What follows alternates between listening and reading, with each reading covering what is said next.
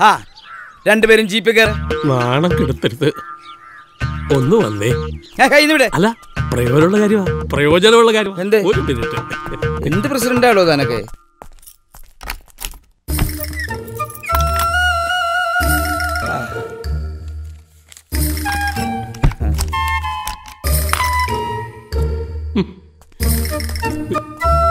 സാക്ഷി പറയാൻ നിർബന്ധിക്കരുത്. വേറെ കേസിലൊന്നും പെടുത്തരുത്. വയസ്സുകാലത്ത് എന്നെ ജയിലിലാക്കി നാണം കെടുത്തരുത്. ഇവിടെ ആരും കാണില്ല.